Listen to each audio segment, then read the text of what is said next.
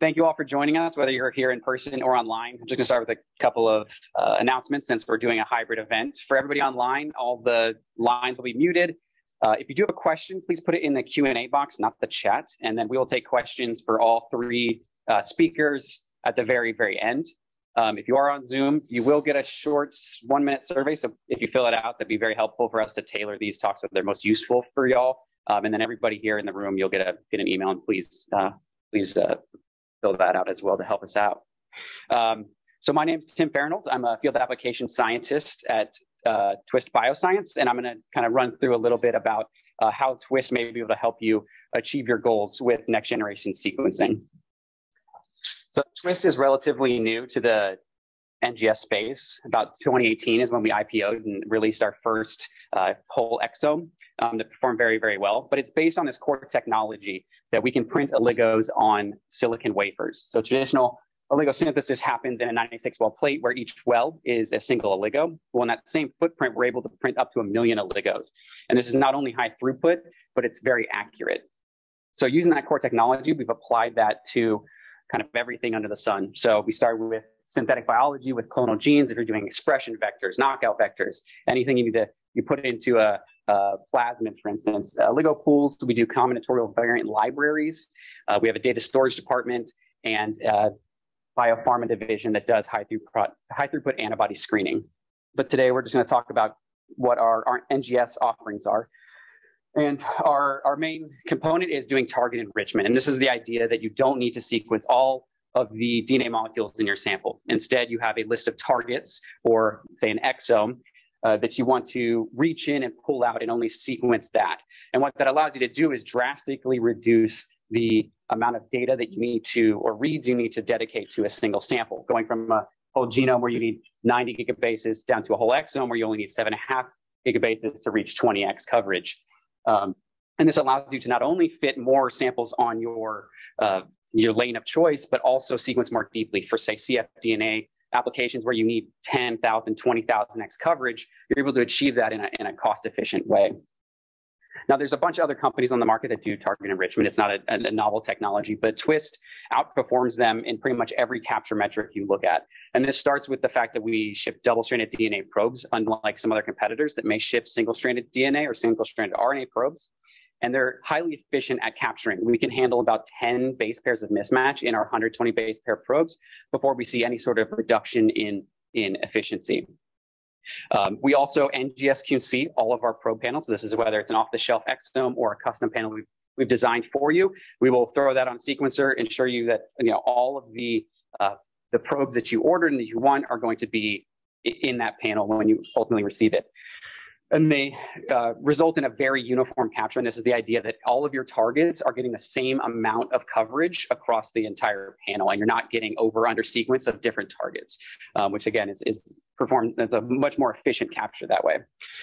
Our entire workflow that goes end to end is highly flexible. So we can go from very small panels, you know, a couple hundred probes up to millions and millions of probes with our 123 megabase human methylome panel, which is extremely large. Um, we also have kit modularity. So if you already have, say, a robust library prep backlog that you have up and running in the lab, well, you can just tack on a, a twist hybrid capture on the end of that, and it'll just work seamlessly with your current lab workflow. Um, but the goal of all these all these um, improvements is to lower your sequencing costs. Like I said, more samples onto your lane or deeper sequencing is is possible. So this is what we're trying to avoid when we're doing efficient uniform hybrid captures. If you have these three targets here in gray and you're targeting at 30x depth of coverage for these three targets, anything over 30x is semi-wasted. You don't need that much data to, to call your variants in those in those exons, for example. So that could have gone to say this third target, which is under sequenced, which you can't call your variants because you don't have the confidence of 30x coverage that you needed. And then you obviously always want to avoid off target where your probe is binding to some sequence that you don't want to pull, pull down. So our highly efficient probes, like I said, are, are double stranded. And this is just the, the benefits of having a double stranded DNA probe. So you're capturing both strands of DNA. And this not only increases your library complexity, so you're not sequencing duplicates all the time, uh, but it also allows you to have a little bit more information for variants. You can confirm them on both strands and have a lot more confidence in your calls. Another way that we're achieving this, this uniform efficient captures with our, with our panels is with our ability to vary uh, probe concentrations based on GC content in the target. So unlike some competitors where you see in their exome, you get this extremely more, like a much more efficient capture in high GC because it's just a stronger bond in the, in the uh, hybridization process. Uh, we can actually vary the probe so that you get this uniform capture. So you're not getting this under sequencing down here and this over sequencing in the high GC so that you're, um, you're, you're capturing everything at the, at the same level. And this uniformity um, across the GC spectrum is the actual measurement that we can statistically calculate. So just looking at how we stack up against other other competitors, since there's a lot of a lot of people in this space, um, we measure uniformity by the fold 80 base penalty, which is just the idea. It's a measurement of how over under sequenced your your entire run was.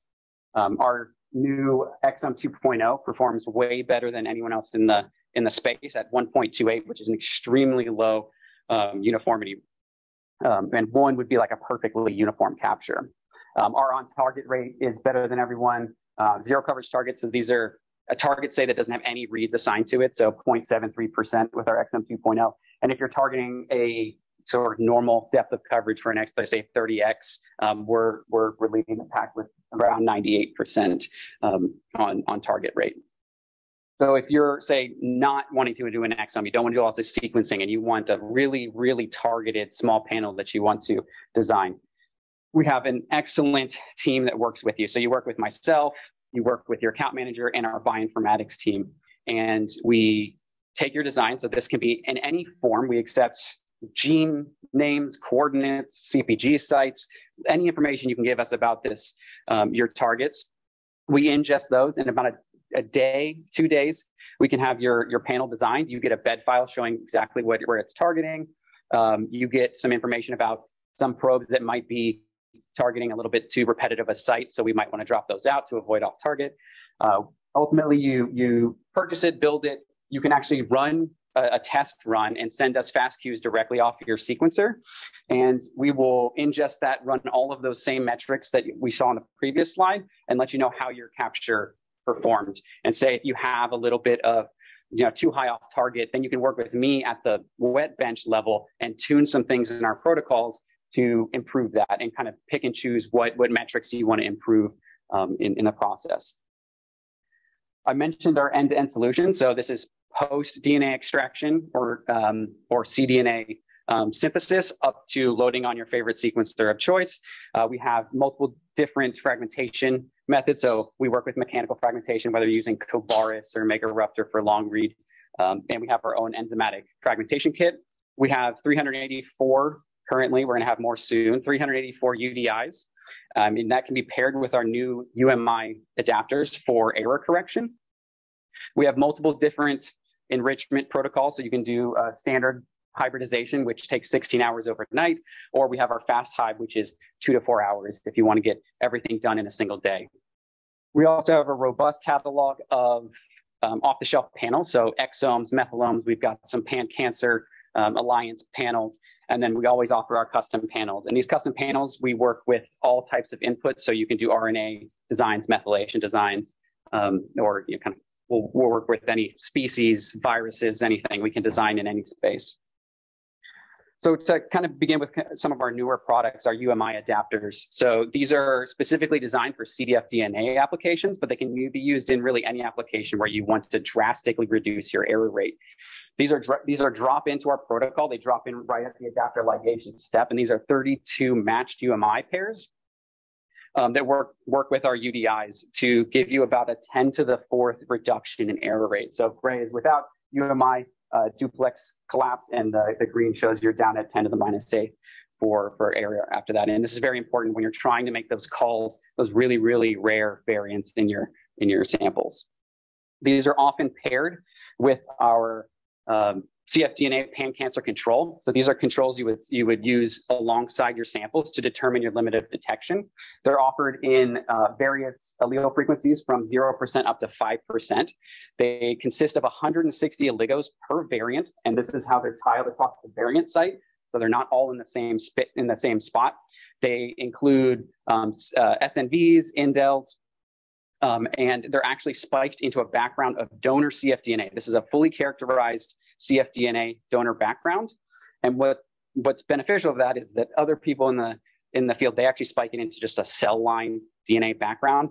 But with this, you actually get an accurate representation of what, say, that variant would look like in an actual cfDNA sample. So it's much more representative of the rest of your samples.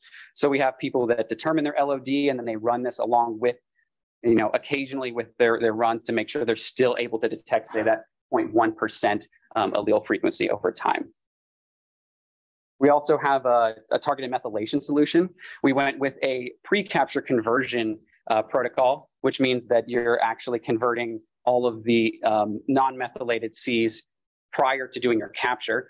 What this allows you to do is is not only retain greater library complexity, but actually have lower input into the system because we can do an intermediate amplification step and not lose those methylation markers anymore um, as opposed to a post-capture conversion, which the really the only benefit is that you can use a panel that was designed for DNA space to also capture those for for uh, methylation, uh, but it uh, is a much less complex library. How we have achieved this is we've taken on the burden of designing probes for this. Um, how we do this is we take every CPG site, we consider it fully unmethylated or fully methylated. Then we do in silico conversion and PCR, and we design in this post PCR state. And what we do is we ship you eight probes per target. And that allows you to capture 0% to 100% methylation and everything in between, because again, our probes can capture some mismatches. So if you have slightly unmethylated, slightly methylated samples, you can catch everything in between. This has been paired with NEB's EMSeq enzymatic conversion kit for library prep. We've worked with um, NEB to optimize this for, for twist captures. Um, really simply, you do an oxidation step followed by an APOBEC enzymatic conversion. And this uh, retains a lot more of your input DNA. With bisulfite sequencing, where you see a ton of degradation, like sometimes up to 90% of your DNA is gone, this also helps us put less DNA into the system, and you get to retain, you call more CPG sites, you retain more of your, your, your information in your sample. You also get better captures outright. So as, as well as a better a library prep, the captures perform better. So whether you're looking at uh, you know depth of coverage, your uniformity, your off bait, your duplication rate, they're all going to perform better than if you did the same thing with with bisulfite conversion. We recently released a uh, large twist human methylome panel. Now this is its comparison with the EPIC 850K because that's kind of what it's what it's targeting to replace. It's a huge panel. Like I said, it's 123 megabases. It targets uh, 3.9, about 4 million CPG sites. Um, in the field, we're seeing people call anywhere from six and a half to 7 million CPG sites when they run this with their samples. Um, so you get, you're getting a lot more information than say an array, which methylation arrays notoriously have a, a lot of problems as it is. Uh, finally, I want to briefly touch on our, our new uh, partnership with PacBio for a long read target enrichment. You'll hear a lot more about this from Fritz. Um, this was designed to work with Sequel II or Sequel IIe machines. We have optimized our, our probe design for custom panels for long read. This takes into account the ability to um, look at GC content and shift probes based on that, as well as just generally being able to move probes a lot further than in a short read 1x tiling um, strategy. And we can do this in DNA space or RNA space. The protocol looks super familiar, post-shearing DNA in what we suggest is a megaruptor or G-tubes. Uh, you go through the same process as any sort of TruSeq style library prep with some changes in how much time you're doing for extension. The PCRs are different. Uh, we have some suggested um, polymerase for, for, for doing, for accomplishing that. Once you do all this, we can do an eight plex capture like our normal captures for long read. Um, and then you'll run straight into PacBio SMRTbell library prep and then load it on your, your Sequel, Sequel II. Um, and you can uh, multiplex 24 samples on a single SMRT Cell. To kind of briefly show some, some data from uh, these uh, captures, we partnered with Leiden University in Germany. Uh, we designed a pharmacogenomics panel. It's two megabases. Those are the, the genes we targeted. Uh, so 23 genes. They were uh, multiplex 24 on the SMRT Cell. We saw 190 fold enrichment with 94% greater than 20x coverage. When we looked at um, star allele assignment, we saw uh, 100% concordance with 24 reference uh, samples at all loci tested.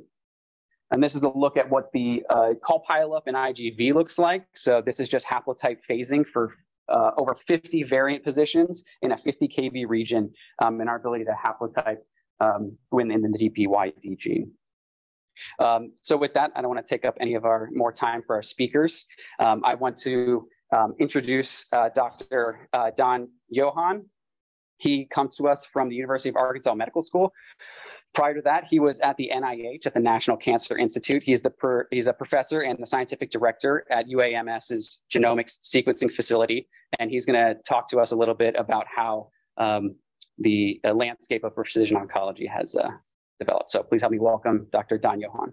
All right, so thank you, Tim, and I'd also like to thank uh, Twist for inviting me, especially uh, Lulu Wang, who I work with a lot, and Clay Morrison, who's our FAS, who we uh, frequently uh, speak with. And so, just to give you a little bit background on me, I'm a medical oncologist, but I became a physician as a second career I first worked in engineering for seven years for one of the big engineering firms on the East Coast, where we did all sorts of very advanced uh, avionic uh, software design for uh, US and NATO countries. And uh, then I went to medical school in Cleveland and um, put together a nice talk for you today. So let's uh, get going. And towards the end of this, I'll show you a very interesting clinical trial that I've been the uh, PI on in the state of Arkansas for the last five years. And it's, uh, it concerns lung cancer, and we've collected, we've enrolled about 200 patients in it. And um, interestingly, uh, I had, when I first launched this clinical trial, I had, uh, I'll just say, uh, a little bit of issues with some of my fellow medical oncologists buying into this, but the surgeons just loved it. So uh, what wound up happening is since we're the only academic center in the state, uh, we wound up enrolling a lot of people with uh, early stage disease where we operate on them for cure. So that's stage one through 3A. So uh, we have a lot of matched samples now from the solid tumor and then liquid samples over time. So this longitudinal assessment of preoperative samples, postoperative, and then at standard of care visits. So we'll go through that at the end and the, the twist technologies that I'm using for that. And we're starting to run that now. So um, we're going to talk about the evolving uh, landscape of precision oncology, where we were, where we're now, and where we need to go. So here's a picture of uh, Louis Pasteur. So it was just a little bit over 100 years ago where uh, Professor Pasteur was being literally laughed out of meetings by his colleagues because of his new uh, germ theory uh, of, of disease. So, um, but not everybody was laughing. Joseph Lister read Pasteur and started to apply his uh, his theories by uh, cleaning his instruments with carbolic acid with which sterilizes them. And Lister's uh, outcomes uh, uh, started to really uh, dramatically improve compared to his colleagues. There were much less wound infections, and patients just did better. So um, that's just a little bit over 100 years ago. This is a high resolution photomicrograph of DNA from a cell. And if we look at that and unwind all the DNA and connect it, it it's about six feet or six meters. And we still don't understand how this degree of compression is achieved to get this all inside the nucleus. So there's a, a, lot to learn, but you know everything today in this new field of molecular medicine is really based on DNA and the products of DNA. So cancer medicine is uh, shifting very quickly. It's going from a descriptive type medicine to one that's molecular based, uh, based on mechanisms and pathways from empirical diagnoses to mechanism-based diagnoses and therapies, from an organ-based discipline where you talk about the cancer arising in a certain organ, the breast, the colon, the prostate, the lung, etc., to one where we're now classifying these cancers not necessarily by the organ of origin, but by the molecular driver. We're looking at these cancers like a deranged circuit because it is a deranged biological circuit, and we're looking to intervene in a meaningful way through a, a rational assignment of the therapeutics. So from categorical treatments where you look it up in a book, somebody has breast cancers of this type, they get this treatment. The one where it's individualized in a very rational manner. From looking at retrospective diagnoses to prospectively evaluating now somebody's relative risk of disease. Okay, so this is now moving into screening where we can now pick up things much earlier. Also, we can look at a patient's germline and we can almost, start to prognosticate that given certain life, lifestyles, they're more likely to have these sort of problems, diseases. So maybe intervening very early and getting people to steer away from certain uh, certain sort of uh, habits, etc.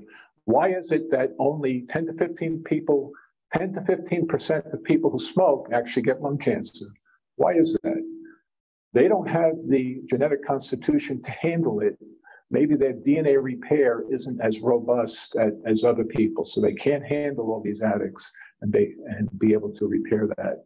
Um, we also want to move from the uh, really acute care of disease, where it's very reactionary, to prospectively uh, uh, intervening through screening, through meaningful screening uh, with more advanced molecular assays. So it's a very exciting time.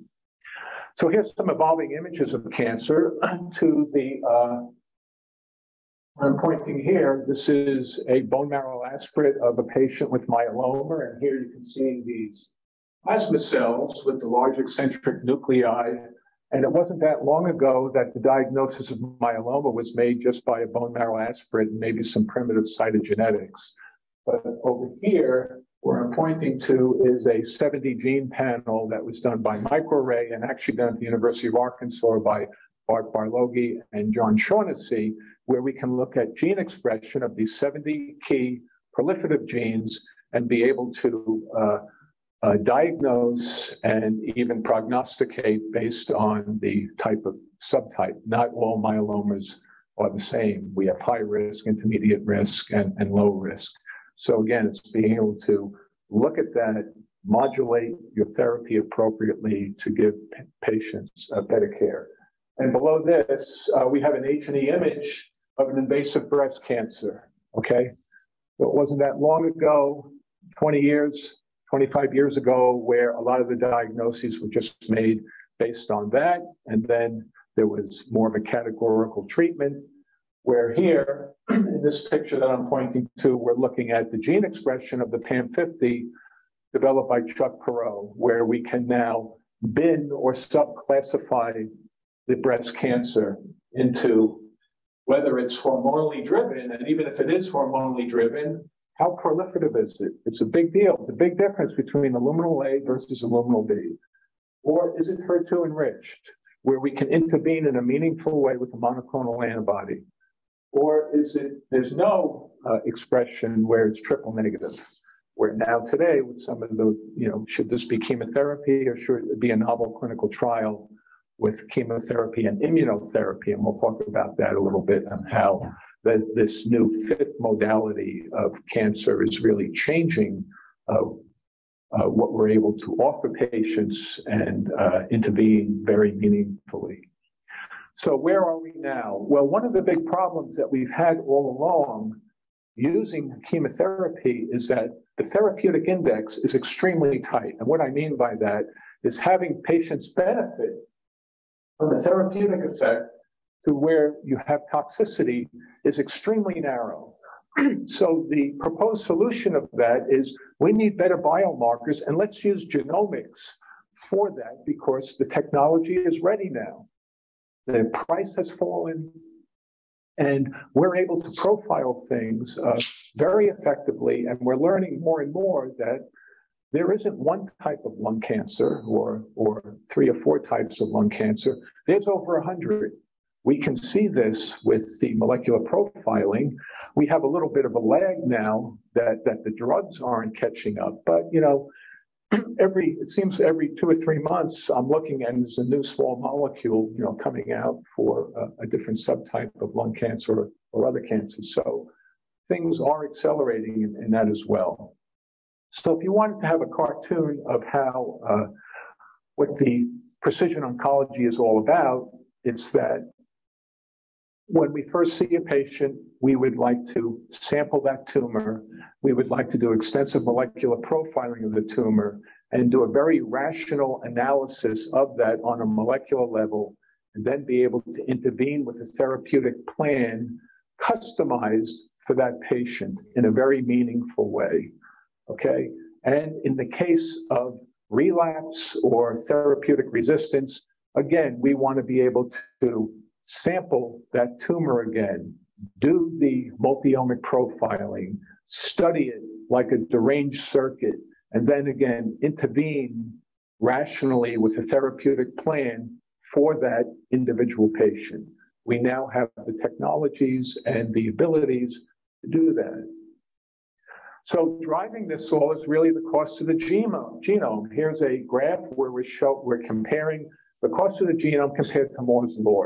And really, nothing in science has ever outpaced Moore's law. And being an, an engineer and living that environment and getting more powerful computers every 12 to 18 months, it was like, you know, Christmas uh, every year or two, getting getting a new toy to play with. Well, look, look at Sequent. What happened here in 2007? What happened here that really was this precipitous drop? Well, we had the introduction of next generation sequencing, better described as multi-parallel sequencing, where we're doing millions of reactions simultaneously. And that parallelism allows the cost to drop tremendously. and so now we can do, uh, you know, we can sequence a person's genome for about $1,000 in a day, and we can do that right in Arkansas. Of course, you've been able to do it here in Texas for a long time, but you know, everyone can do that. Um, and now with some of the new technologies coming out, uh, the, the, price is going to drop to $200. So what this is happening is, you know, this is causing these sort of approaches to ram their way into the clinic. Okay. It's just ramming its way into the clinic. So it's very disruptive, but the type, the specificity of what we're seeing here is so different and so uh, game changing that um, it's, it's just simply remarkable. It's also changing the way we do clinical trials. So no, no longer again is it the organ of origin. Each of these colors here kind of represents a different molecular driver. So it's it's it's the molecular drivers that you want to look at with these. So we we've developed these bucket or basket trials where it doesn't really matter what the organ of origin is. It's all about what the molecular makeup of the tumor is about, and then that's how uh, the uh, therapeutic plans are done and how the patients are are better managed. So this is especially important in lung cancer since uh, patients are much older. They're usually the average age 68, and they have other comorbidities. Most of them are smokers, so they have heart disease, they have COPD. And many times the diagnosis is made just by uh, a little needle biopsy, and we get a cytology specimen, and we're able to say, yes, this patient has lung cancer. But it might be too risky. As a physician, you're always balancing this risk benefit ratio. You don't want to hurt the patient. We want to intervene as much as we can, but we may not have enough tissue to actually genotype the tumor. And with non-small cell lung cancer, being able to genotype the tumor and see if it may be amenable to small molecule uh, interventions is extremely important because trying to get a patient through a platinum doublet, especially when they're uh, older and have all these other comorbidities, most of the times is nearly impossible. You know, the patients start telling you, you know, I've had enough. I've had enough. You know, they lose their hair, they, they're fatigued.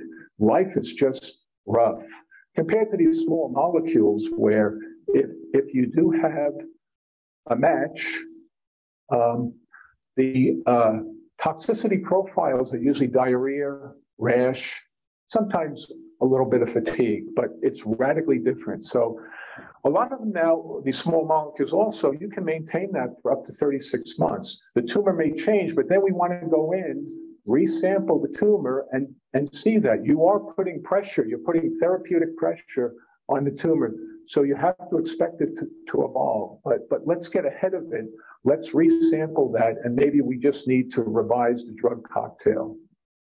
Um, so this is, like I showed you before with the uh, breast and myeloma, this is a uh, all the subtypes for uh, adenocarcinoma, non-small cell uh, of the lung.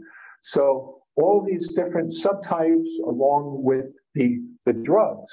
So the uh, development of small molecules has really become uh, a very interesting academic niche where you have a lot of medic- medicinal chemists working on this and then partnering with pharma companies. So it's been a real uh, boon.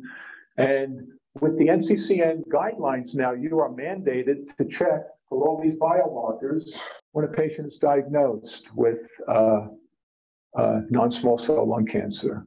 And a lot of times, you know, whether it's um, uh, adeno or even sometimes with squamous, you know, you have some bleed over, or sometimes you have combinations with the histology. So the important point is is that compared to chemotherapy, getting treatment from a small molecule is like night and day. All right. So we want to be able to intervene uh, appropriately and, and use this molecular science to, to really pin down these diagnoses so we can help people uh, the best way. So now we also have this new cancer modality called immunotherapy. So for anyone who doubts the power of the immune system, all you have to do is look at the hands of somebody with end stage rheumatoid arthritis. Okay? You see the classic ulnar deviation in this picture. This is due to T cells coming in and destroying joint spaces. Okay? It's very powerful. In the same way here, I'm going to show, walk you through here. This is a uh, woman with metastatic melanoma. Okay? This is the tumor. It's an exophytic mass. It's growing out from inside of her out to the skin like a mushroom. Okay? This is the CT scan done in a sagittal fashion, right? So we're looking at the patient from the side. It's a sagittal reconstruction. Here's the tumor. Here's her breast. Here's her spine. This is the peritoneal cavity. Here's the tumor between the breast and the stomach wall, this gigantic mass here, okay? This is after one cycle of an immunotherapy cocktail, ipilimumab with nivolumab, okay? The tumor has gone away, most of it, and now where the exophytic mass used to be, we have a crater, right? It's been destroyed. These drugs have reshaped the immune system and woken it up, and the immune system is clearing out the tumor. Just like in your body, if you have a little infection, the immune system comes after that and clears out those pathogens, right? We now have drugs to reshape the immune system so that it goes after tumors. Most people will get cancer five to six times during their life, but usually your immune system is so competent it gets taken care of. You don't even know about it. Okay. This is after three treatments, 17 weeks. Okay. One created, crater here is now closed via secondary intention, right? Now on the CT scan, there's no evidence of disease. This is remarkable. So in the past, somebody with metastatic melanoma like this, with this stage, with this extent of disease, you would expect them to live three to nine months. So as an oncologist, you know, you have a, you have the talk with the patient. You need to get your affairs in order. It's changing now. What we need to change about this is this is only uh, this only works even in for some tumors. We we don't understand why we can't predict up front although we have, you know, all these PD-L1 and PD-1 Uh, if you look at it, you know, all these IHC tests, everyone has kind of a different uh, mix on how to do it. We still don't really understand. We can't predict up front who's going to work with. And really, in the best of cases, the likelihood of a good durable response is about 17 to 20%. So we need to understand some of these challenges in the field of uh, computational immuno-oncology to be able to mine through this data quickly and uh, and uh, have better predictability so we can help even more patients. Now, the liquid biopsy is is very disruptive. It's really changing the way medical oncology is practiced. It's been the holy grail in medical oncology for the last 50 years. How is it? Uh, what exactly in it is it? It's using a routine blood draw to uh, collect uh, DNA material. So just as as tumors uh, grow and undergo apoptosis or necrosis for a variety of reasons, they dump their contents into the bloodstream, and that includes their DNA. We can now uh, we have the uh, sensitive enough methods to pick this up and to sequence it and to make sense of it. Uh, the somatic mutations and even some of the fragment patterns. It's very powerful and um, it's really changing the way we do things. So it's not just tumors that uh, give off uh, their uh, DNA, uh, healthy tissues, you know, our GI tract turns over every 30 to uh, 90 days. Uh, if you have a little infection, inflammatory, anything that causes cell death will cause things to be dumped, dumped out the cellular contents, and the blood, in a sense, is kind of like a sewer. It uh, picks up everything. The half-life of this material is anywhere from uh, 30 minutes to about two hours, has been worked out by the Vogelstein lab. It's eliminated through the kidneys. So um, the blood seems to be a reasonable place uh, to get this. Now, not all tumors uh, do this shedding, so we don't really understand uh, why some tumors do it, like uh, glioblastomas uh, don't notoriously shed. Thyroid tumors don't. Most GI tumors do. Lung cancers do. Uh, so uh, we don't understand all that, but um, for some cancers, it's becoming quite effective.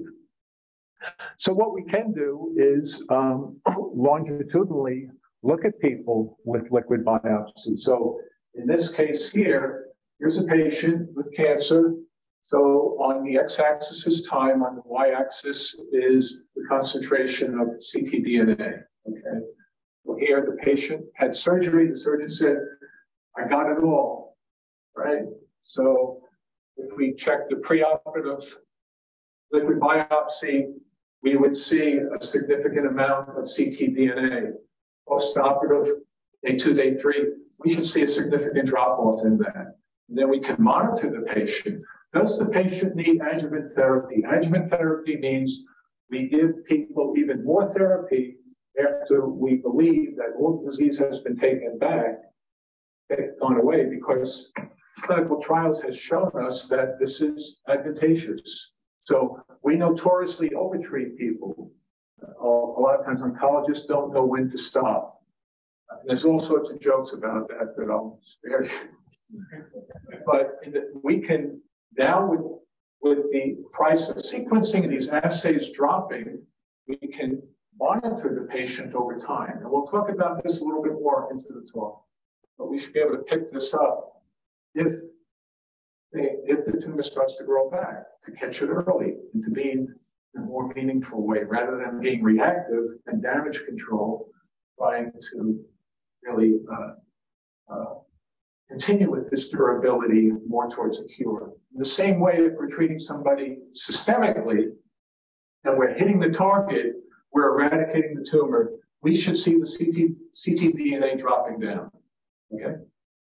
Now, if we monitor them over time, again, we can pick things up and the tumor may have changed. There may be new clones. We know that a lot of times we only partially cure somebody's cancer. We may be wiping out certain clones certain clones may be very sensitive to the therapy, others are resistant, and then they start to grow out.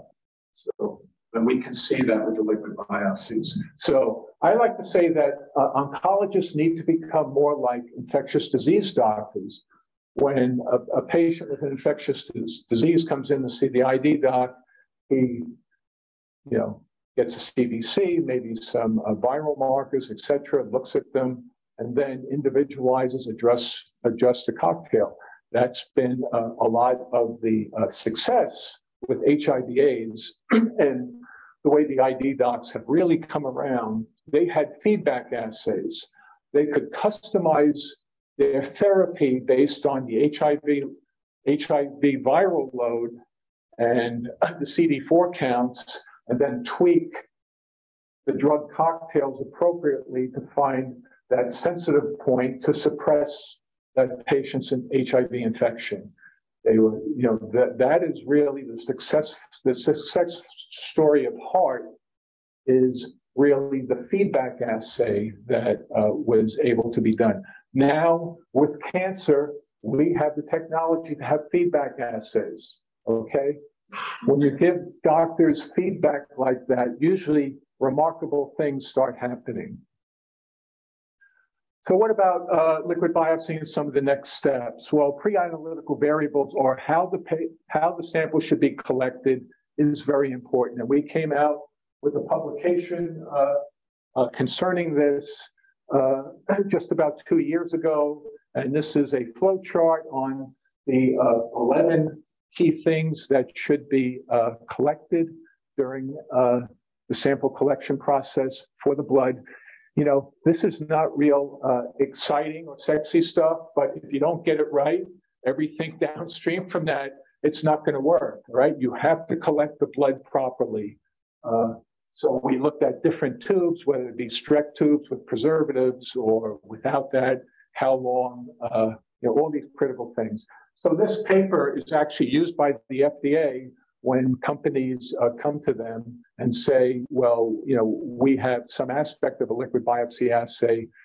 What, how should we prove to you that, that our samples are being collected properly? You know, because the FDA is going to want to know right away about the analytical validity. And they say, you have to read this paper and uh, make sure you're doing the right things. the other thing is the analytical validity or for the biomarkers, are they accurate? Are they reproducible? So again, working with national groups, BloodPAC, uh, we uh, published this in clinical chemistry, which is kind of a very important journal for people who design assays. And this was actually a series of protocols, again, working very closely with FDA. FDA wants to get this right. So they know BloodPAC is actually a combination of people from academia, from industry, every big uh, pharma company, all the big biotech companies are involved in this. Uh, so we have these 10 different protocols that show you uh, what FDA is really looking for. And so this is another way to uh, speed this technology to the clinic for mo- more robust applications. And then um, I was involved with a, a, proficiency study here, this Nature Biotech, that came out just a little bit uh, uh, about uh, two years ago, where we did a proficiency study, which means that um, we uh, distributed the samples throughout the world to 12 different laboratories, and there were different ways of doing it. Now, some of the things that we were worried about, the challenges were this, is that we know that the uh, for liquid biopsy, the DNA input is very low. Okay, uh, the variant allele frequency uh, is usually one percent and below that, and we'll see a little bit more on on how things uh, work. The DNA fragments are very short, 170 base pairs. Um, there's extensive PCR do, done during this, and that can introduce problems. There are lack of reference samples for benchmarking assays. Okay, so again, having good reference samples so that you can benchmark. I think I built a better mousetrap. What can I do to really test this to uh, see if mine is better than, you know, this one over here? And then what, what about the impact of the bioinformatic analyses? All right. We don't want, we did not want to in any way impede innovation. All right. But we do want to provide some standards on which people can plug in to their new assays and do things. So some of the key concepts that we were concerned with was the concordance with tissue sequencing, concordance across laboratories, and then concordance across different liquid biopsy panels or tests. Everyone kind of has their own. You know, is it hybrid capture? Is it amplicon based, etc. So we took a um, we made a, a, series of cell lines, 10 different cell lines, and then we used a cell line. These 10 cell lines were all from different cancers, and then we used a non-cancerous cell line as, as a dilution factor, and we created two sorts of samples that we called liquid biopsy high and liquid biopsy low. And this is just the dilution uh, levels. The liquid biopsy high was 1 to 5, and the liquid biopsy low was 1 to 25 dilution. And then we had these different five panels from Roche, Illumina, IDT, Burning Rock, and Thermo Fisher. And then all the bioinformatics. So the bioinformatic analysis could be done however uh, the different participants wanted. There, there were no uh, no impediments towards that. So this is how it went. Um, you can see every different panel here. We had uh, different labs within that panel, and then there were four replicates. So we had within lab, between lab, then cross-platform, then this one was amplicon based. All the other ones were hybrid capture based. So there were, for this study, over 360 ctDNA assays done. All right, so it was pretty comprehensive. And so this is a picture on uh, the performance of the different assays. and so this is starting at here, 2.5% frequency down to 0.5. And I'm just going to put your eye at, all of that. So all of the assays performed pretty well down to 0.5. Basically, everybody was getting it right. But let's look at, so here's 0.5 to 2.5, everyone's getting it right. 0.3 to 3.5. Again, that's the VAF. Just about, just about everyone's getting it right. Now things start to get, you start to get some wobble in the assays because finding these things, you're, you're having more stochastic phenomena. All right, finding these uh, little fragments floating around, especially if you know how many tube changes are you doing when you're preparing the sample.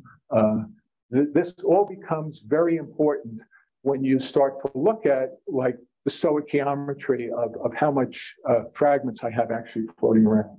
And then when we get down to like 0.1 percent, you know, things are really falling apart.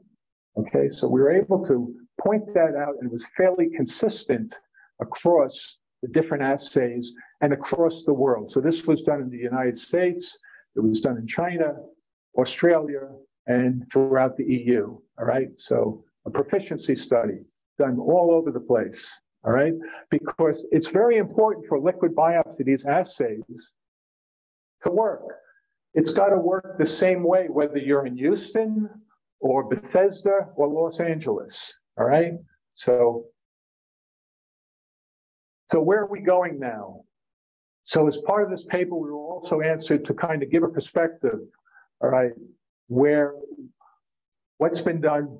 Where do you see us moving now? So this chart here kind of shows here on the x-axis here, this is metastasis and relapse and over here, we have areas early detection, diagnosis, treatment, adjuvant therapy, surveillance.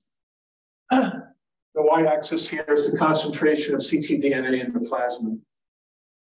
The yellow-coded area, this is where we are. This is where most of the FDA approvals are, right? Is patients with advanced disease, right? So the first approval was in 2016 for the cobas v2 as a companion diagnostic for erlotinib and osimertinib. But we've come a long way for that. In 2020, we had two NGS approvals. You know, the uh, Guardant uh, assay and also the uh, Foundation One. But what we need to move now, and where clinical trials are doing this, is earlier. We want to know how is the response to therapy going? So can we start somebody out on a new therapy? And these therapies, some of these small molecules are very expensive.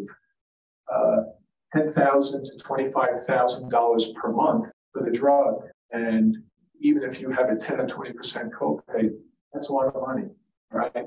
So you want to make sure that uh, this is working. And the insurance companies are going to start demanding this.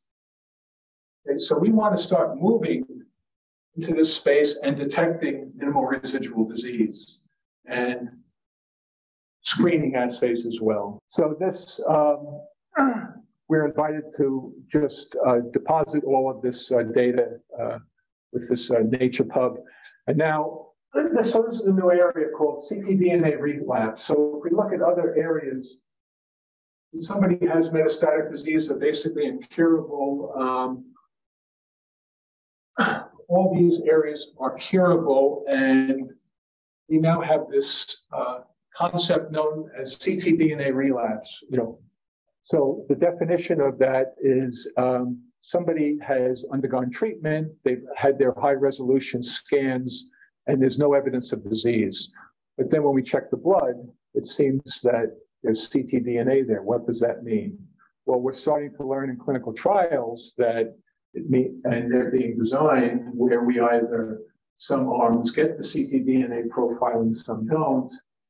Um, that this is indeed important. And in this study here, what we're seeing is this patient population here, where the, the colors are a little bit more muted, are ctDNA negative. So on, again, on the x-axis is time, on the y-axis is your probability of, of survival. And so the people who are ctDNA negative in both overall survival and progression free survival are doing much better than the people who are positive, regardless of whether they're getting the drug or not. All right. So it's very powerful. It means that this is real. We should be able to uh, modulate therapy based on this. And there's more and more drug uh, treatments going on. And this is the slide that I wanted to get to. So here's kind of a schema of what we're doing now as we're starting to process all these samples uh, for this lung cancer trial so most patient early stage disease and they've had therapy, standard of care curative intent, which means they've had a lobectomy. You take out the tumor and all the draining lymph nodes. I have matched tumors, solid tumor and blood. So again, blood draws from preoperative, postoperative, and standard of care visits. Through TWIST, I've developed a 500 gene targeted panel that includes UMIs, and that's for both the DNA and the RNA. Uh, I'm very interested in expressed mutations. Um, and I'm using their uh, EMSeq uh, enzymatic uh, methylation approach, both for whole genome, which I plan to do fragmentomics with, and I take a snapshot of that, save it, and then I enrich against the panel and look at both the solid tumor and all these blood samples for the methylation profile according to the 400 million CpG marker panel. Um, and then um, all the NGS is performed on our NovaSeq. Uh, pipeline analysis, we'll be looking at somatic variant calling, somatic CNVs using an ultra low pass, fragmentomics, methylation, uh, tumor mutational burden, uh, microsatellite instability, uh, express mutations, and RNA fusions. And all the data from this will be stored in the BloodPAC uh, data warehouse. Uh, this uh, trial was funded by the federal government and, and, and, the FDA. So in summary, I try to show you the evolving landscape of precision oncology, how things are really changing uh, very re- remarkably, and the role of uh, sequencing and very advanced molecular assays to do that. Um, liquid biopsies really have the, the way to really change, and they are changing the way cancer medicine is practiced. Uh, we, looked at uh, pre-analytical variables, analytical variables in a proficiency study, uh, the need for robust uh, reference materials to test out. That's been done. It's been deposited. There's a Nature paper about it. And then I've shown you a roadmap for how some of these things are being used now with the twist technologies.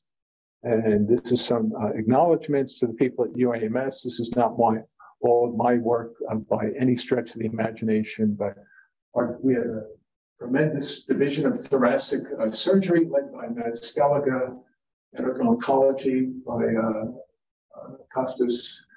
Uh, EJ Shin runs my lab, and then the sequencing center and the people involved in, in all that work. So thank you very much introduce our next speaker. Um, he's from my alma mater right next door at Baylor College of Medicine. Uh, Fritz, he's an associate professor in the Human Genome Sequencing Center, and today he's going to talk to us about some advances in long read sequencing. So it's my great pleasure to be here, and thanks again uh, to Twist for inviting me um, to give this presentation. Um, I'm, my name is Fritz Sedlazeck. I'm an associate professor at Baylor College of Medicine and also adjunct at Rice University just across the street, so to speak. And so today I want to talk about a product basically or research that we have been conducting with the help from Twist over the last couple of months. And um, we're going to release also some data at the upcoming ASHG about this. Um, and I'm hoping to also catch your attention over the next uh, half hour or so. Um, and it's really about, as, as, it says in the title, closing the gap, solving complex medical relevant regions of the human genome. And what we mean with that is, of course, kind of these dark regions that are still escaping our characterizations of short reads alone, um, but really with a focus on medical implications here. And I want to stress the point that, like, really our understanding of this complexity of the human genome or medical regions uh, or medical important genes is really driven by the technology that we have at hand, right? So in 1940s, 1980s, uh, basically almost before my age, but we of course applying this continuously these days as well. Karyotyping helped us to uh, assess like large alterations in our chromosomes. And then fast forward in the 2000s, we finally had like microarrays where we can assess regions of the genome um, in sense of amplifications or deletions. And then in 2008, as, as, our previous speaker also told about it, we had this revelation where we could finally sequence a whole genome with short reads, we're reading lots of new biology and insights.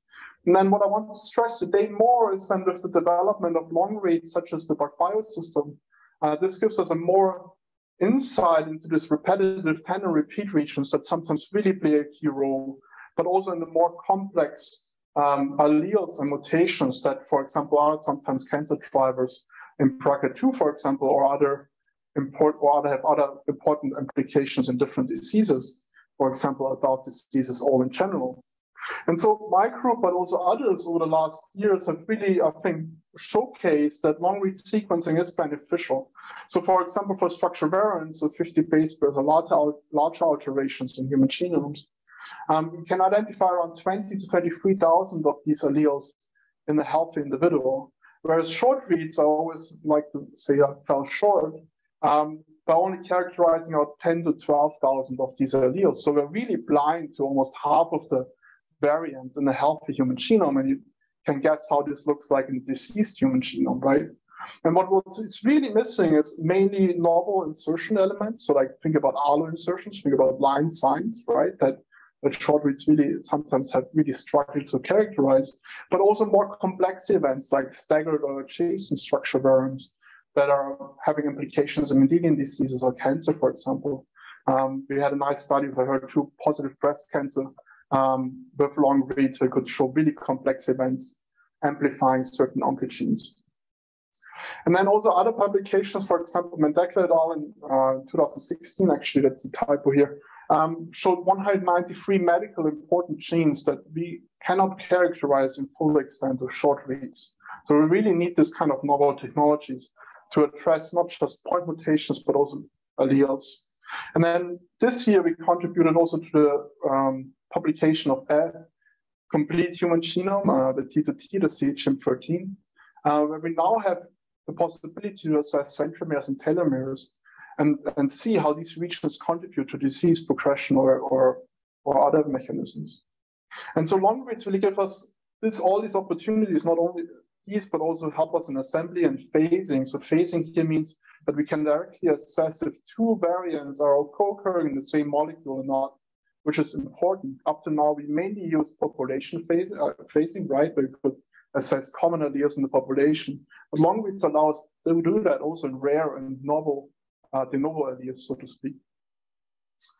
And so one of the things that these kind of developments, especially with PacBio, really pushed forward and that Microbes invested in this genome in a bottle, uh, which provides genomic benchmarks. So think about it if you're embedding a new uh, platform, if you're if you're releasing a new uh, sequencing instrument, and so on and so forth, you can go to genome bottle, um, purchase a sample, run it through your pipeline, compare it to to the, ben- the benchmarks that they're providing in terms of variant calling for SNVs, but also in SV, SVs. So what we have released is on the SV side, structured variant side, uh, the benchmark currently is the version 0.6, which has been uh, published in Nature Biotech a few years back, and has the whole sequence resolved uh, structure variants for almost the entire genome, uh, covering around 90% of the entire genome. The, the thing how that was enabled was because we utilized multiple sequencing technologies to come to these um, conclusions. The downside, though, is that it's only covering insertions and deletions. So all the complex rearrangements and things are not covered by this benchmark. And what I always like to call out, it only covers boring regions, so to speak, despite I was, I've been a co-author on this paper as well. On the SNV benchmark, we, we just updated this this year in the publication. We can now cover a little bit more, 92% of the genome, including MHC regions and more repeats. But again, it, it kind of lacks kind of a medical focus. There are still regions in the genome that are important, like SMN1 and 2, HLA, LPA, and other genes that are, for us, um, generally speaking, for us, really important in certain aspects and diseases. And so we, we settled out to kind of um, challenge ourselves to get these genes um, and see what we can do. So in, in total, um, what we came up with was this following pipeline. So we utilized uh, different uh, databases of medical genes and collected a total of around 5,000 medical important genes. Uh, this includes OMIM and, and, other common databases. And then we compared them, of course, to available benchmarks within the Genome in a Bottle Consortiums. And so we ended up um, with around 400 genes uh, that are not covered because they're highly repetitive, they're highly complex, um, as I said, SMN1 and 2 and these, these kind of genes and tried to formulate a genomic benchmark around them.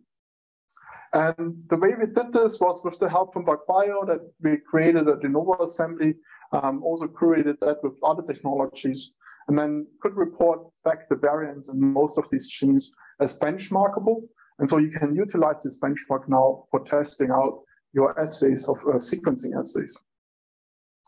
One of the cool, curious things that we found in this process was actually errors in the human reference genome. There were multiple genes that were reported not just in one location, but in multiple locations. And there, here I'm not talking about normal pseudogenes or whatever. We really went back to the GRCH consortium and could verify that some of these genes um, are really reported duplicated, for example, on the left and the right side of the chromosome arms on chromosome 21. And these have profound effects, of course, in analysis, right?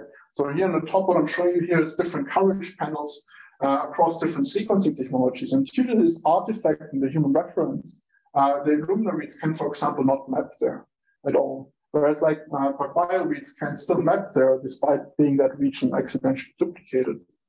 So one of the side questions, of course, how can we fix that? And Sairam, who is also here with us, my postdoc, um, developed this program uh, that we that we recently renamed from Roger into Fixit Felix. Um, and so how it how it kind of works is the following. So what I'm showing you here is an IGV screenshot again. On the top layer, you have Illumina reads. You see all these little uh, white boxes, I hope. In the background, you have to trust me on that. Um, and so these white boxes indicate a mapping quality of zero, means they are equally mapping well to other regions of the genome, right? And then you see in the lower track, the boxes in gray, meaning they have now a unique mapping. And this is exactly what his tool does. So Sairam has worked tremendously over his last weeks to identify these errors um, and resolve them in the GRCH38 um, version of the reference, and then also introducing new, uh, new sequences that I'm coming to in a second. So you take his tool, you take a BAM file that you produced uh, recently, for example, and then you, his tool basically converts or changes uh, the BAM file from the upper version to a lower version where everything works and you can call variants within around five minutes in total. And what this brings you is that you have a boost in actually identifying variants. So in red here, we show the performance of calling SNVs um, uh, in terms of um, F measurement, which is a measurement of accuracy. For the non-modified version, so here in red, as I said, original mapping, and then for the in blue is kind of a global remapping. So if you would remap the entire thing to the reference that we are providing now as a modified GRCh38, and then in this Turkish uh, Turkish uh, value um, label here is just this regional remapping that we can achieve in five minutes. Because as you know, remapping the entire genome will take a few hours actually. And then you see this kind of increase really in performance for these regions. And the same also in indel calling itself. So this is one type of the errors that we found. We also found a different type of errors where we actually have collapsed regions. So here, the gene is, is commonly uh, present in the, in the population, or should have been present in the reference genome, with like two or three copies of it, with different pseudogenes, for example. However, GRCh38, for example, just represents two versions, two copies of this gene. And so we have this kind of collapse of, a, of another gene copy on top of itself. And what this causes is again errors in the in the SNP calling. So in the top track, every tick here is a SNP call, and it's just too much to be realistic. And we found out it's not. But like again, with Sairam's tool, we can correct the BAM file quite easily, as I said, in five minutes, and we can obtain these SNP calls on the lower track um, that that compared to a full de novo assembly of the human genome are correct. Um, the problem here and how we come across, how we solve this is actually by introducing new decoy sequences to the reference based on our work together with the T2T consortium. And so you see, you get a little bit of a performance boost in substitutions, but also in indels. But like this comes also with the cost that this region now is not as unique as it was before, just because we introduced additional sequence to clean this up. Okay, so this was just like a side story, so to speak, but like really coming back to the benchmark because this is coming, getting to be important in a, in a few minutes. So as I said, the benchmark currently um, uh, includes around 400 genes, 386. What was interesting is we could resolve all these genes um, apart for benchmark able quality apart from 122 genes. And these 122 genes is actually an interesting fact because we are able to resolve them in terms of an assembly or so, but like they have they are so repetitive and so tricky that the variant representation is actually a challenging part. And so comparing these variants is something that we are currently working with with Adam English, also part of my group. Um, um, and so we, they, those genes were not included in this benchmark. Nevertheless, these genes are really important across multiple diseases. What I'm trying to show here in this kind of circular diagram is the contribution of these genes across the 386 genes across multiple diseases. So you see the uh, majority, for example, are, are important for neuro neurological diseases, but like overall, we have all the different, well, most of the different disease types. I didn't plot out cancer here, but there are also multiple cancer genes in there, like TP, TPN or NT or something. I forgot the name. Sorry about that. Um, so this is great, but still this benchmark is just like the first step. And that's, I think, also why I'm talking today to you guys. Um, as you know, this really hopefully sparks uh, new developments because now we can benchmark these variants and, and assess the value of different technologies. One of the other teasers that Sairam is currently working on is LPA. Um, as I said, this is a really important cardiovascular disease gene. The, trick, the tricky part here with LPA actually is mainly that you have these KIV2 repeat regions that are 5.5 kb, and tandemly duplicated next to each other. So every human holds between 5 and 50 copies of these uh, 5.5 kb regions. And the number of copies actually associates directly and significantly to your cardiovascular disease risk at birth. And it's highly polymorphic, and there are also some ethnicity interests. So that's why Washington Post, for example, just earlier this year released an article about the importance of of LPA and its proteins. And we really need um, new methods to do that. And Sairam in my group is working on kind of a graph representation where you have this distance here is represented as 5.5 kb. And you see all these different entanglements, which represents different haplotypes in the human population. We can use this kind of graph idea or representation to actually map short read data directly onto it and be able to analyze this. Otherwise, it wouldn't be possible with short read data because that, of that high repetitiveness. But basically, the plot down here is showing you exactly that. So each red dot here represents the remapping of one individual in short read data, in which haplotypes are represented in this one individual across the different copies of this 5.5 kb region. So think about this graph here as really kind of a collapsed representation of this different copy number repeat. So, but we need to expand this. This is just like one gene that, that we really need to get right. So what, how do we kind of get beyond here, right? So how do we get kind of a routine assessment of these around 400 really important genes and improve our understanding about the diversity and therefore forming at some point an annotation uh, uh, database itself as well and have them included in routine, um, maybe even clinical uh, applications. This will require some lab optimizations uh, as well as computational optimizations, right? And so this is really kind of a great pleasure here because we were able to team up with Twist and, and as well as with PacBio to address exactly that question. So together with Twist, um, we try to find a way to address these 400 genes in a most cost-efficient manner for long reads, right? Because like long reads are great, they're getting scalable and getting more and more matured over the last years. Still, it's expensive compared to kind of exome sequencing of Illumina and everything. I think that's fair to say, having some bio people as well here in the room. Um, but like what twist comes in here, right, is, is to enable us to target exactly the genes that we are interested in um, and really have a focused assay here. So like one of the scenarios you could think about, right, is to have your patient have your human of interest, so to speak, sequence that with an inexpensive assay such as Illumina, right? And then add this kind of long read panel on top of it to kind of get the most for your money spent in these medically relevant genes. So we, we went out and like honestly great help from Tina and, and Holly and, and every from, everyone from the Twist team because these are the worst of the worst genes. These are really like the, things that no one of us really likes to touch. Um, and designed a panel for GRCh38. So the total target of this panel is 2.22.2 megabases. It actually includes 389. So for those of you that, that paid attention, those are three genes more than, than I said previously. Uh, we added GBA and other genes just because like GBA is also very interesting to me as, as, as someone that likes to study Parkinson. Um, we used sparse tiling probes. And out of these 22.2 MB, we could only not cover 271 kb. So it's a really kind of greatly covered panel.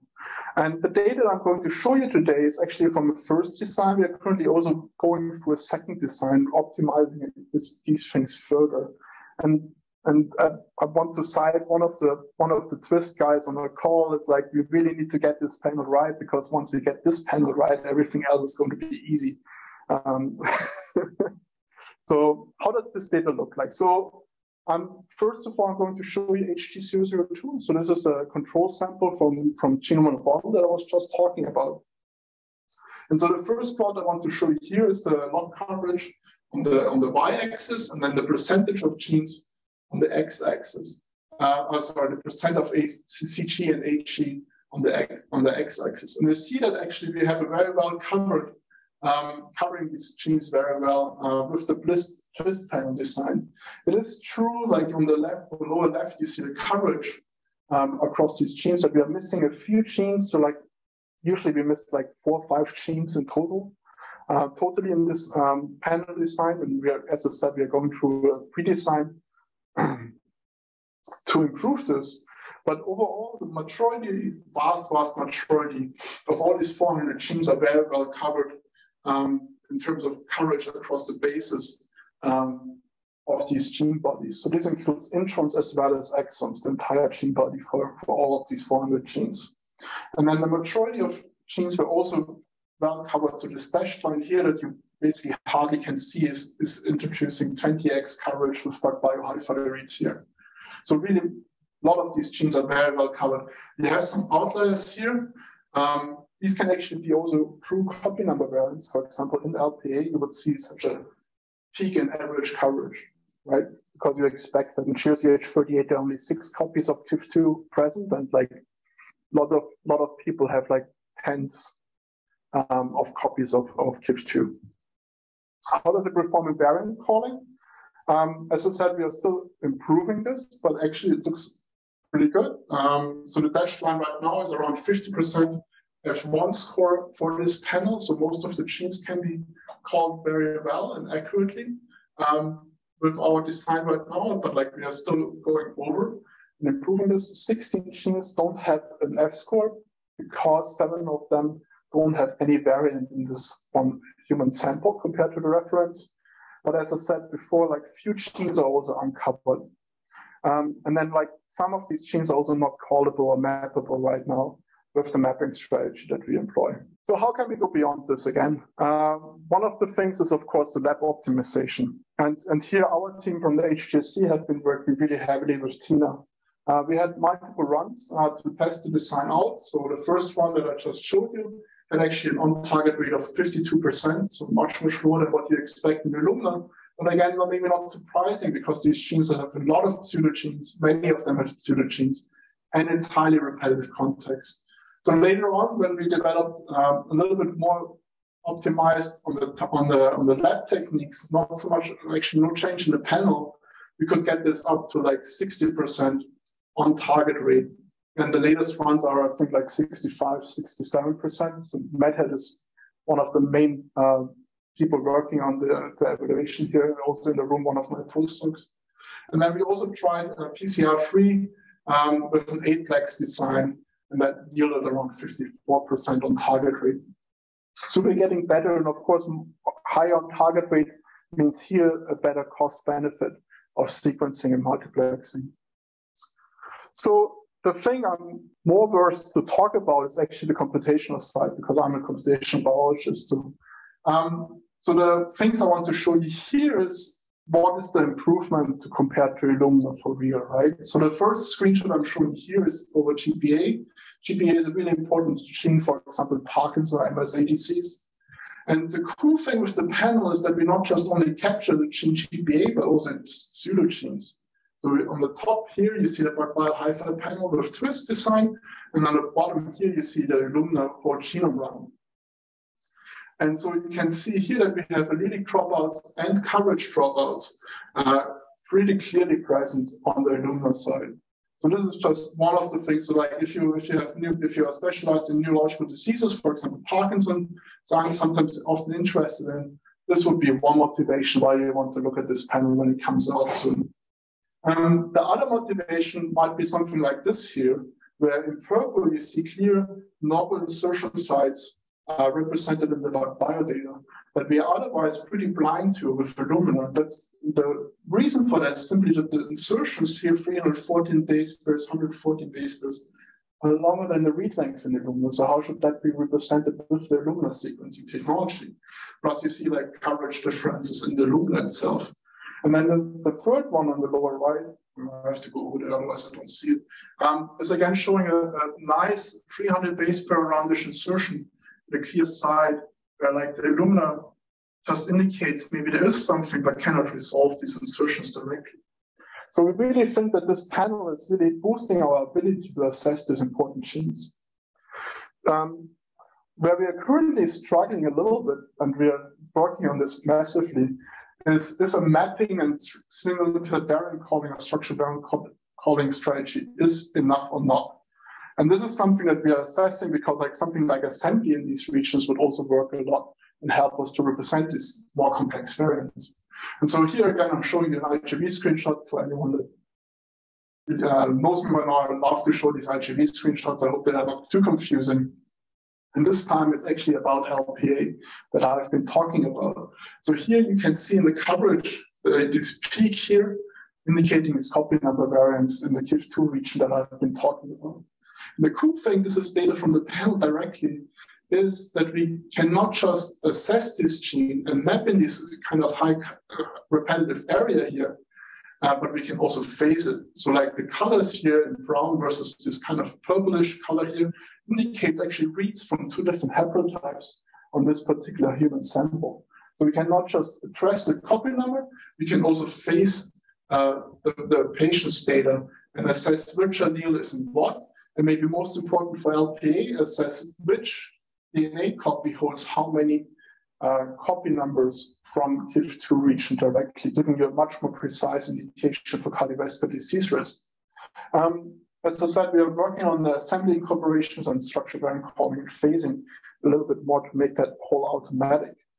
And then together with PacBio, we're also working on specialized tools. They have been uh, really pushing hard, which is a great collaboration with them on specialized tools such as for the star alleles that we just heard in the beginning of this talk today, um, but also, for example, LPA. And so here you, you, get the point that I'm really fixated about LPA these days. Um, here you have actually a graph genome representation of LPA uh, itself. You see here the copy number variants represented in a graph structure of this KIV2 region. And the cool thing is about this representation is similar to Sairam's approach, is that we can see all these different rotations, not just in terms of copy number, which is this kind of bubble here, but also in terms of SNPs and other indels in this important gene. And this can be applied to many other genes where mapping, for example, is not just enough to compare that. And here you have again one more screenshot of LPA, up top here with the HiFi panel and the lower here with Illumina, where you can see here we have really sparse coverage to not mapping coverage in this critical area where we want to assess KIV2 copy number repeats. And so this is really great collaboration with Twist because like without Twist, this all wouldn't have been possible, right? We would have go back to whole genome sequencing, which is maybe better for bio, but more expensive for us. Um, so what are the kind of future steps in summary? Well, scale and cost efficient. Um, we really try to uh, provide this method and provide this panel together with Twist to you guys who hopefully enable cool new science and hopefully discover new um, variants and effects of these variants in, across multiple diseases and also including cancer. Um, what we are currently working hard on is the analytical pipeline to have on the release from the panel also kind of a software component for the analysis of these genes available. And this, this will be actually maintained from our Bio as far as I'm aware right now. If you're not getting, okay, he doesn't know. Uh, so that's, that, that's still what I negotiated with them, that they are going to take care of the customers for us, which is great negotiation tactic. Um, uh, and I'm, I'm really excited. So like uh, with this panel, we also have just seen recent data that we can actually resolve SMN1 and 2. Um, just with this panel sequencing LPA I showed you already. Um, I showed you already. So there are really some key genes that, that many of us are interested here. And with this panel, we also kind of allow them to have kind of a large scale application and apply this panel on a more routine way of, of assessing these important genes. And so with that, I want to acknowledge many, many people, of course. Um, on the HGSC side, Medhat Mahmoud, my postdoc here, is really pushing the analytics of it. I also showed you uh, data from Sairam's work. Um, besides that, many thanks also to the center, which Richard Gibbs, Donna, Ginger, all have, Harsha have all been really instrumental of pushing this forward and developing um, these things. On the PacBio side, I think Mike Eberle and Sarah and Joe is really pushing this forward, and Xiao and Sean and us have a lot of calls about uh, analytical side. And then on the Twist side, we really work, had a great collaboration and still ongoing, honestly, um, especially with Holly and Tina um, pushing that forward. And then in the end of it, because like this is also an online thing, I'm always looking for postdocs or students. Um, so plus, just please reach out if you're interested in work like that. Thank you so much. Uh, all right, so we're going to take some questions. Uh, I'm going to ask uh, Don if you want to come up. Um, so yeah, we'll take questions uh, from the room. Does anybody have any questions for any of the speakers? On the blood collection that you've been uh, implementing with uh, blood draws. We recently learned about valuable technique that should be there right when it's collected and then immediately skin down to do any of the fractionalization that you want from that blood sample. Um, that paper is available, I guess, at this point. But how much uniformity do you think over how do you think you can enforce it uniformity of collection and processing across multiple centers and to assure that it was collected in a proper format? I don't know if you want to do packaging, if you want to do tubes or anything else that's currently available, but I see a problem with that, that cohort study of doing it across the world like that. Beautiful, but you have to make sure that the collection methods were correct, that the paperwork is actually valid. Um, I've seen paperwork that's come in that we can't even vouch for that. And it's obviously not what we have in our hands. So where do you see the challenges on maybe a collection device that you would recommend outright for that kind of study?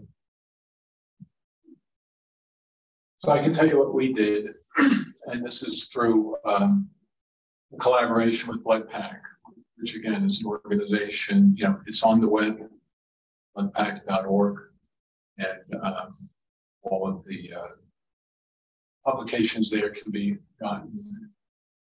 But um, uh, I kind of benefited uh, from a very extensive study that USC did, Peter Kuhn and uh, Jim Hicks and uh, Anand Kolatkar, where they were funded to look at all different collection methods, EDTA tubes, Streck tubes, this and that, and then processing the samples at different time points, seeing you know, where are the fence posts, where are the real inflection points. And so, uh, cut to the chase, um, I think that the best way to do it is to use a Streck tube or some equivalent where you have a preservative inside.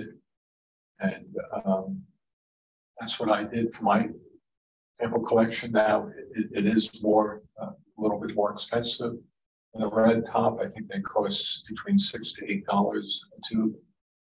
The only thing that you have, but then you have theoretically up to 14 days to process the blood. It has a fixative in it.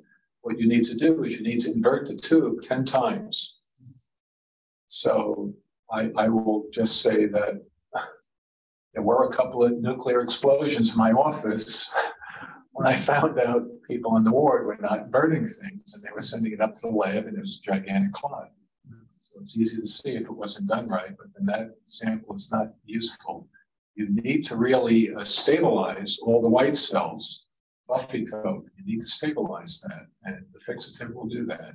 So what we normally do is, um, although I have up to 10 days, we usually process it between two to three days using the uh, Streck protocol, which is you know, two centrifugations, and then we um, save the Buffy coats. We always save the Buffy coats.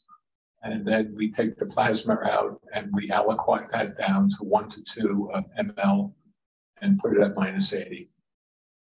And um, now I'm pulling things out of the freezer. Some of these things are five or six years old. And now the important thing is before you run the sample and before you start to expend a lot of money on a cfDNA protocol where you're going to have to do 20,000 X coverage, you want to really look at the FA trace in the qubit. So you should be able to see a characteristic peak around 170 base pairs and then in two to three multiples, 340, 510. And you know what? If you do it right, you'll see it.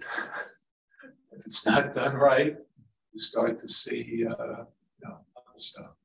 But um, we're going through everything now and pulling it. We just ran ran this, and so it's very important to say yes, there is cfDNA in there. You know, I see that peak, and so so we use the um, fragment analyzer, which is a capillary electrophoresis uh, system, which is extremely sensitive, and uh, the company was bought by Agilent. Now, Agilent, that's what we're using that in qubit to uh, really do that first pass. Make sure you know what you're working with, so that you're not wasting time and money, which is precious. Yes. I have a question for the long read panel. Uh, that 389 fields include the I look I look I don't such as like the FMR1? Uh, there are for sure repeats in there. Um, I'm not sure. I'm I'm like 90% confident. Um, there are a lot of yeah, there are a lot of STRs in there. I'm not. I would have to go back and check if they're trinucleotide repeats, but there are for sure in there. Um, you mean in terms of variant calling directly? Coverage. So the coverage looks actually really amazingly good for, for all of them, for most of them. We had the, the genes where we have some dropouts on the probes. Um, we haven't characterized a systematic problem there. Um, and as I said, we just went through a redesign where we reshuffled the probes and, and adopted more to GC biases. Um, but like overall, what we see is only like four or five genes that are completely not covered. So I don't think that the STRs are contributing much to that problem. Uh, the design is 22 MB. Oh, each, uh, the probe itself. Um, I honestly don't. 100, 120 base pairs. Oh, yeah. Yeah, so yeah, they're all 120. What's the minimum number of probes? So we have some very short genes where I remember to just see like two or three probes as well, if I remember correctly. But like we also have like this very long genes where we then have like really lots of probes. Yes. Regarding the uh, liquid parameters, how reliable is it? As a predictor of relapse.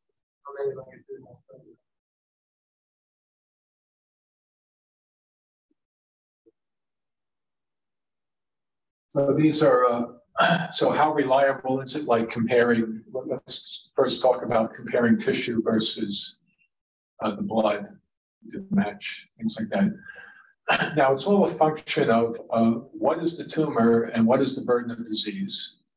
Okay, so you may have a tumor that sheds a lot. Lung cancer sheds a lot. Gliomas do not shed. You don't understand biologically why that is. But um, it is accurate. Uh, we do now have FDA approved tests. And when you put an assay through FDA, you know, first thing they're looking at is uh, the uh, analytical uh, reproducibility, the accuracy of, of what's being called. Um, as we move now into more challenging areas, okay, with uh, earlier and early detection, maybe even screening methods, what, what happens is the, uh, the that you would like to see in the serum becomes signal to noise ratio becomes very challenging and you have these stochastic events now that are uh, present when you do your sample prep. So it becomes very extremely challenging. So shift to another molecule. So the, that's why when you look at what uh, Galleri is doing and the um, Guardant uh, Lunar 2 and things like that, they're, they're, they're looking, sure, they're looking at DNA, but, but they're looking at fragmentation patterns via the fragmentomics, which Victor um, Velculescu from Hopkins came out with the big paper a couple years ago. And now Delfi is the company that's grown out of that. And, and also these methylation patterns, which the uh, GRAIL assay, Galleri, is, is really looking at where they have this multiple cancer early detection assay where they can screen for up to 50 cancers. So they're looking at presence of cancer along with the tissue of origin. is very important. So um, this is here now for some cancers where we have known screening like mammography, colonoscopy, things like that.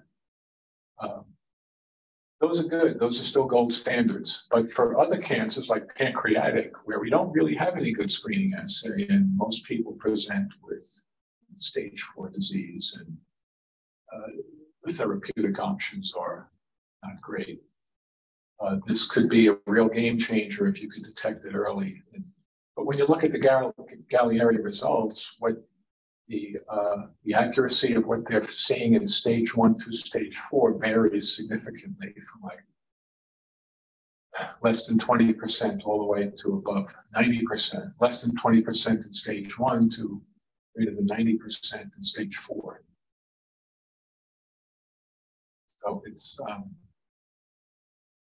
it's moving in the right way. It's certainly not perfect, but um, compared to what we had before, it's a gigantic move forward. And, and I think that these see the thing with the screening assays are they're difficult to do because you really you know the the, the ultimate uh, uh, metric with a screening assay is does it save lives? And so now, now you have to follow somebody for 20, 30 years. So the NIH is getting involved in that, and um, there's been all sorts of uh, meetings with top leadership because these assays, again, are ramming their way into the clinic. Um, you know, you can pay for the Galleri assay. I think it's a little less than a thousand dollars. You know, you can have that. You know, some picking up a cancer in stage one, you know, is much more amenable to a cure, maybe even with a simple surgery. So we want to start doing that. So, however, you don't want this stuff to be overhyped and to the technology to get a black eye because it's introduced too quick because, you know, people can make a lot of money. Um, so it, it, there has to be a balancing act and it has to be done in a controlled uh, fashion through clinical trials where things are looked at very. All right, are there any more questions? All right. If not, uh, we'll wrap up. Thank you all for coming. Thank you for joining us online. Um, we'll be hanging around if you have any more questions for Twist or, or Don or Fritz. So thank you.